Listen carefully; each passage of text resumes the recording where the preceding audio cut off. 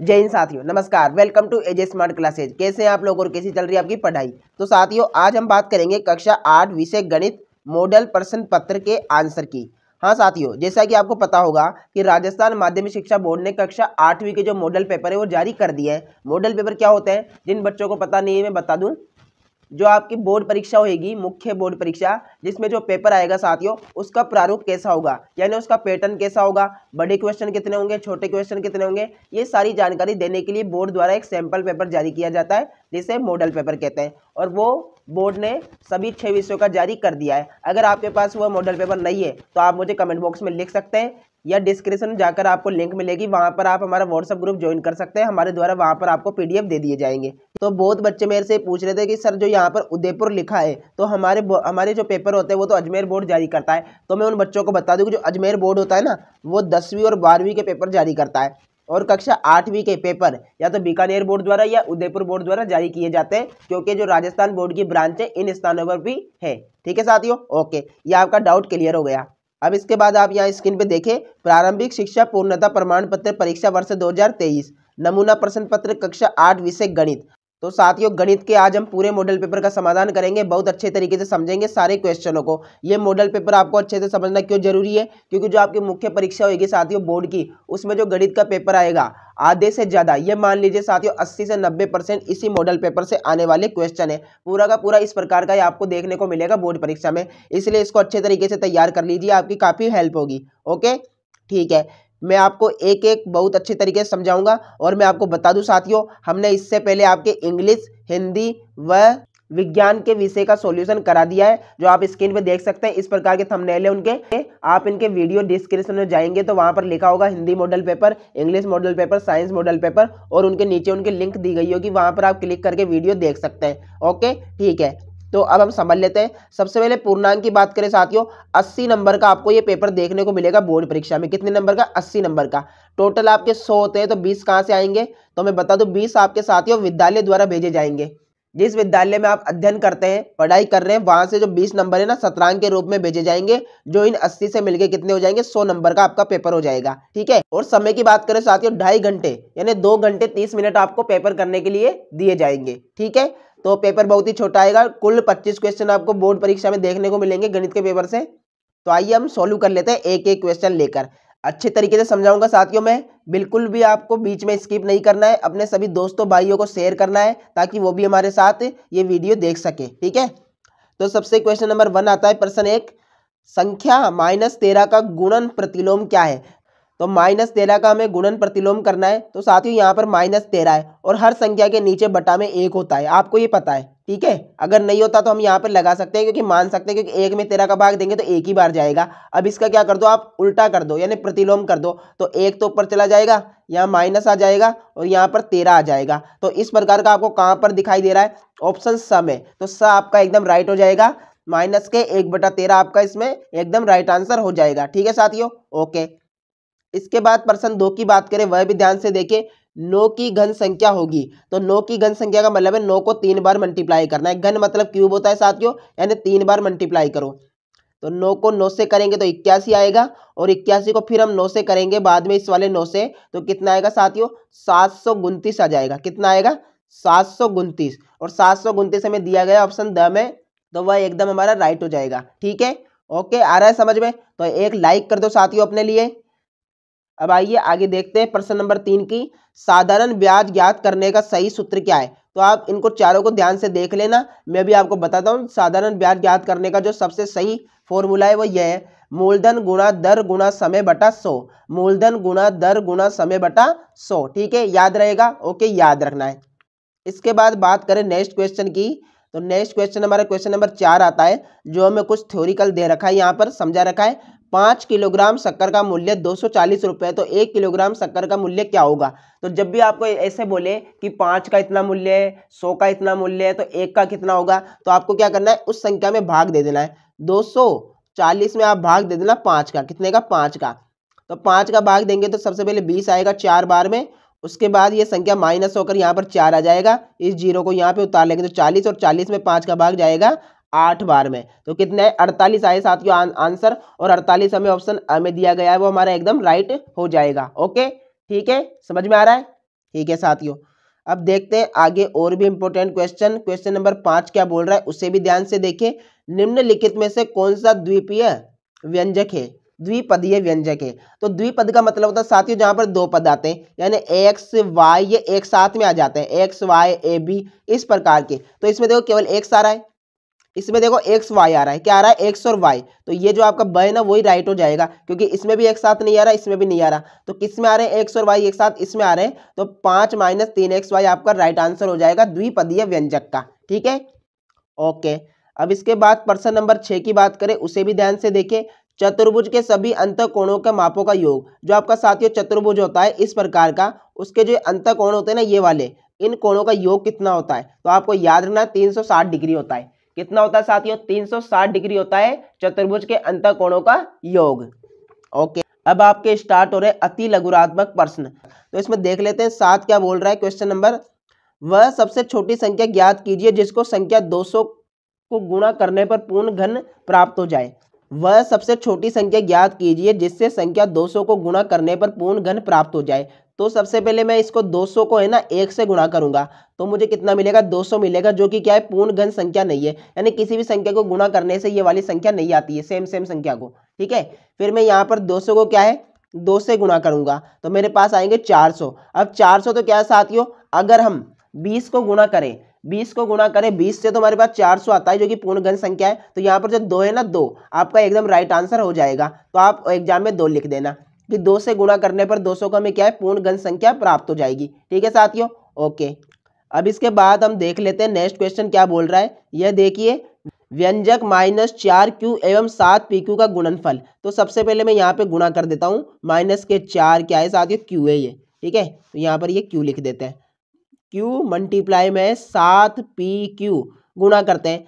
सात को चार से करेंगे माइनस है तो माइनस का अट्ठाईस आ जाएगा। सात चौक अट्ठाईस। उसके बाद यहाँ भी क्यू है। यहाँ भी क्यू है। तो ये हो जाएँगे क्यू स्क्वायर ठीक है? और यहाँ पर पी अकेला रह गया तो पी ऐसा कैसा आ जाएगा? यही आपका आंसर हो जाएगा एकदम सही, ठीक है? माइनस के अट्ठाईस क्यू स्क्वायर पी ठीक है? ओके साथियों? ओके अब इसके बाद हम देखते हैं नेक्स्ट क्या बोल रहा है हमें। क्वेश्चन नंबर नाइन को हम रीड करते हैं। वह क्या बोल रहा है? देखें, किसी सम बहुभुज के एक बहिष्कोण का मान 45 डिग्री है तो भुजाओं की संख्या क्या होगी? तो साथियों, जब भी आपको ऐसा बोले तो आपको क्या है? 360 डिग्री होता है ना, उसमें भाग दे देना है उस वाले कोण का। 45 का भाग दे दीजिए, उसमें कितना आएगा साथियों? 45 का भाग देने पर आपको जो आंसर मिलेगा, वह होगा आठ। ठीक है? तो आठ उसकी क्या हो जाएगी? संख्या हो जाएगी। भुजाओं की संख्या कितनी हो जाएगी? आठ हो जाएगी। Okay? Any doubt no doubt ठीक है? क्वेश्चन नंबर टेन की बात करें उससे भी हम देखते हैं कि हमें यहाँ पर आयत दिया है और इसका बोला है कि इसका परिमाप ज्ञात करो। तो पर हमें परिमाप ज्ञात करना है इसका आकृति का, जो क्या आयत है। और आयत के परिमाप का फॉर्मूला आपको पता होगा, दो मल्टीप्लाई एल प्लस बी दो गुना लंबाई प्लस चौड़ाई। तो यहाँ पर दो लिख देंगे। लंबाई की बात करें तो कितनी दे रखी है? नौ। ठीक है। चौड़ाई की बात करें, कितनी दे रखी है? सात। प्लस सात कर लेते हैं। अब नौ और सात को जोड़ेंगे तो सोलह हो जाएँगे। और सोलह को दो से गुना करेंगे तो कितना आएगा? बत्तीस आएगा। तो बत्तीस आपका एकदम राइट आंसर हो जाएगा। सेंटीमीटर दे रखा है तो यहाँ पर भी सेंटीमीटर लगा देना। परिमाप में साथियों, केवल सेंटीमीटर ही आता है और जब हम क्षेत्रफल निकालते हैं तो स्क्वायर आता है, ठीक है? ओके अब इसके बाद बात करें नेक्स्ट की। क्वेश्चन नंबर इलेवन क्या बोल रहा है? उसे भी ध्यान से देखते हैं। दी गई आकृति में एक लाल सेब प्राप्त करने की प्रायिकता ज्ञात कीजिए। तो यहाँ पर हमें इस प्रकार का एक गोला दिया है साथियों। यहाँ पर हम सबसे पहले नोट कर लेते हैं कि हमारे पास जो लाल सेब है, वो है कितने? रेड कितने साथियों गिनते हैं? तो यहाँ पर हम देखते हैं तो लाल सेब एक, दो, तीन, चार। कितने? चार है। तो आप आप यहाँ पर लिखिए चार। और जब ग्रीन की बात करें, हरे की तो हरे भी गिन लेते हैं। कितने? एक, दो, तीन। तीन ही है, तीन। और टोटल कितने? टोटल की बात करें तो सात हो गए। अब हमें पूछा है लाल। से प्राप्त करने की प्रायिकता। तो प्रायिकता का साथ ही सिंपल सा फॉर्मूला होता है, जो हमें चाहिए ना, वो तो ऊपर लिख दीजिए, लाल चाहिए, लाल सेब तो चार है हमारे पास चार, और टोटल कितने सेवन। तो चार बटा सात, चार बटा सात, इसकी एकदम राइट प्रायिकता हो जाएगी, ठीक है? प्रायिकता आपने पढ़ी होगी, अनुकूल परिणाम बटा कुल परिणाम। अनुकूल परिणाम क्या है? जो हमें चाहिए लाल से वो आ जाएगा चार, और नीचे क्या है? हम सात लिख देंगे बटा में, इस प्रकार से, ठीक है? अब यहाँ पर हम देखेंगे नेक्स्ट क्वेश्चन लघुरात्मक प्रश्न यहाँ से स्टार्ट हो रहे हैं साथियों, बारह से लेकर इक्कीस तक, ठीक है? तो मैं आपको यहाँ पर पूरे के पूरे सोल्व कराने का प्रयास करूँगा काफ़ी हद तक साथियों। तो यहाँ पर हमें क्या है? सत्य व असत्य में से उपयुक्त चिन्ह अंकित करना है कि जो दिया गया वाक्य सत्य या असत्य है। तो यहाँ पर एक को पढ़ते हैं सबसे पहले, संख्या तेरह चौवन, यानी एक हज़ार तीन सौ चौवन, दो से विभाज्य नहीं है। तो क्यों नहीं है दो से विभाज्य? इसके पीछे क्या है? चार लिखा हुआ है ना? तो ये क्या है? दो से विभाज्य है। तो ये क्या है? असत्य हो जाएगा आपका, ठीक है? असत्य में आपको टिक कर देना है। उसके बाद ये वाली संख्या नौ से विभाज्य है। तो साथियों, आप अगर इस इस संख्या में नौ का भाग देके देखेंगे ना तो पॉइंटों में आंसर आएगा। तो आप इसमें लिख देंगे ये विभाज्य नहीं है। तो ये भी आपका असत्य हो जाएगा। ठीक है? यदि कोई संख्या दो व तीन से विभाजित है तो वह संख्या छः से भी विभाजित होगी। ठीक है? बिल्कुल सही बातें होगी। यहाँ पर दे रखा है कि संख्या छः प्लस एक्स, नौ का एक गुणज यदि एक्स का मान दो हो तो। तो यहाँ पर छः प्लस एक्स दिया तो अगर एक्स की जगह दो है तो छः में दो जोड़ू मैं यहाँ पर। इस वाले छः में दो जोड़ देता हूँ ना? दो जोड़ने पर मुझे मिलेगा आठ। अब आप खुद बताइए, आठ नौ का गुणज है क्या? गुणज का मतलब होता है कि नौ के पहाड़े में आने वाली संख्या है क्या आठ? आप बताइए, नहीं है ना? तो ये भी क्या हो जाएगा, आपका असत्य हो जाएगा। ठीक है? ओके, आ रहा है समझ में? तो एक लाइक कर दे अपने लिए साथियों। इतने अच्छे तरीके से आपकी तैयारी करवा रहे हैं, कोई भी डाउट नहीं छोड़ रहे तो आपको अच्छे से हमारा साथ देना होगा और वीडियो को लाइक कर दे, चैनल को सब्सक्राइब करके बेल आइकन को प्रेस कर दे ताकि आपको ऐसे ही वीडियो समय पर मिल सके। ठीक है? और भी करा रहे हैं आगे छोड़ रहे नहीं है साथियों। अब यहाँ पर देखो आप, ये क्वेश्चन साथियों में आपको अभी समझाता हूँ कि हमें इस प्रकार की आकृति दे रखी है और इसके दो हमें दृश्य दे रखे हैं। हमें बताना है कौन सा ऊपर वाला दृश्य और कौन सा नीचे वाला दृश्य है। तो ये भी मैं आपको अच्छे तरीके से समझाऊँगा। उससे पहले कुछ और क्वेश्चन देख लेते हैं। क्योंकि ये बहुत ही सिंपल है। साथियों इतना कठिन नहीं है। यहाँ पर देखो हम क्वेश्चन नंबर चौदह को देखते हैं। वह क्या बोल रहा है? व्यक्तियों पर किए गए सड़क सर्वे के दौरान यातायात नियमों का पालन नहीं करने वालों को व्रत के चित्र में दर्शाया गया है। व्रत चित्र को पढ़कर नीचे दिए गए प्रश्नों का उत्तर दीजिए। तो यह आपका व्रत चित्र है, इसे पढ़ लीजिए ध्यान से। उसके बाद नीचे क्वेश्चनों पे चलते हैं, वह क्या बोल रहे हैं। तो सबसे पहले देखो, सबसे अधिक भार क्षमता वाले वाहन को चलाने वाले व्यक्तियों की संख्या का प्रतिशत ज्ञात कीजिए। ये बोला है। तो देखते हैं सबसे अधिक भार वाला क्या है। तो यहाँ पर मैं आपको हिंदी में ही बता देता हूँ, हिंदी मीडियम का ही। ठीक है। तो आप यहाँ पर देखें साथियों, यहाँ पर क्या है, हमें सबसे अधिक बार वाले व्यक्तियों की क्या है, संख्या प्रतिशत निकालनी है। तो ये सबसे अधिक बार। बाकी सब में तो प्रतिशत लिखा हुआ है, लेकिन इसमें प्रतिशत नहीं लिखा हुआ। तो हम क्या करेंगे, इन सबको जोड़ देंगे और जोड़ने के बाद सौ में से घटा देंगे, क्योंकि प्रतिशत सौ ही होता है साथियों। जो आपका रिज़ल्ट ही बनता है ना, क्या सौ में से ही बनता है। तो हम सबको जोड़ देते हैं। दस प्लस पच्चीस प्लस पंद्रह प्लस तीस। इन सबको अगर आप जोड़ देंगे तो जोड़ने पर साथियों ये आपको मिलेंगे अस्सी, कितने मिलेंगे? अस्सी। और फिर आपको सौ में से माइनस कर देना है अस्सी को तो आपके पास कितना आएगा? बीस आएगा। और ये बीस क्या है? यही है अधिक बार वाले व्यक्तियों की संख्या का प्रतिशत, ठीक है? ओके। अब इसके बाद नेक्स्ट क्वेश्चन की बात करें।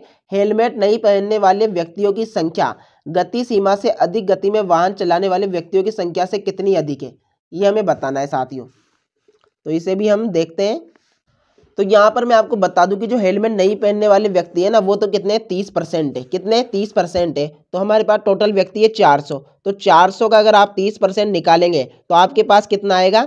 चार सौ गुना तीस बटे सौ कर लीजिए प्रतिशत निकालने के लिए। दो ज़ीरो से दो ज़ीरो कैंसिल, चार को तीस से गुना करेंगे, कितना आएगा? आपके पास एक सौ बीस आएगा।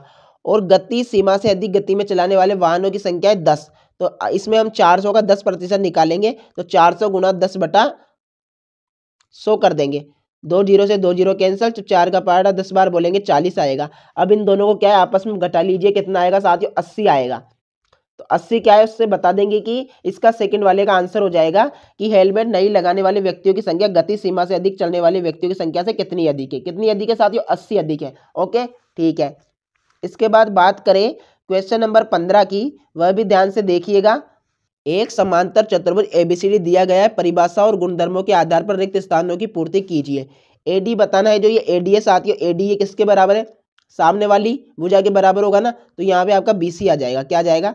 बीसी कौन डी सी बी कौन डी सी बी यानी ये वाला कौन किसके बराबर होगा साथियों? इस वाले कौन क्या होगा ना? बराबर। तो इस वाले कौन का नाम क्या है? बी ए डी तो इसमें आपका बी ए डी एकदम राइट हो जाएगा। ठीक है? ओ सी किसके बराबर है? ओ सी साथियों ओ सी, ये वाले जो बुझाई है, इसके बराबर होगी ना? तो ए ओ के बराबर है। किसके? ओ ए के बराबर। ठीक है? इसमें आपका दे रखा है कौन ए और कौन डी तो ये वाला कौन और ये वाला कौन किसके बराबर है? ये आपके एक सौ अस्सी डिग्री के बराबर है। ठीक है? एक सौ अस्सी डिग्री इनका मान। तो आप इसमें ये भर देंगे। ठीक है? इसके बाद नेक्स्ट की बात करें साथियों तो यहाँ से लघुरात्मक प्रश्न स्टार्ट हो रहे हैं। ये भी मैं साथियों करवा सकता हूँ, लेकिन वीडियो आप देखेंगे तो काफ़ी लंबा हो चुका है।